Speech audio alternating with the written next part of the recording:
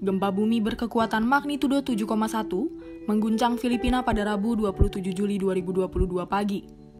Berdasarkan informasi dari US Geological Survey, gempa tersebut tepatnya mengguncang wilayah Dolores pukul 7.43 waktu setempat.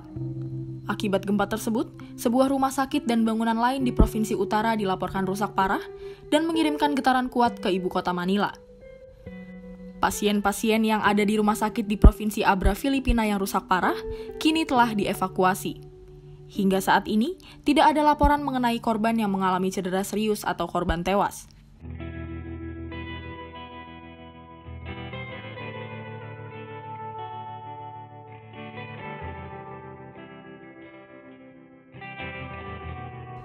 Direktur Badan Seismologi Negara Filipina Renato Solido mengatakan bahwa diperkirakan akan terjadi gempa susulan dengan magnitudo besar.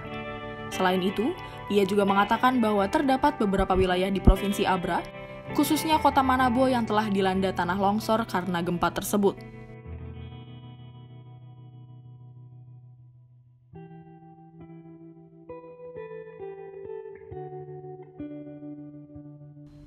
Gempa juga terasa di Manila, di mana beberapa bangunan dievakuasi. Selain itu, sistem kereta bawah tanah kota dihentikan pada jam-jam sibuk di kota tersebut.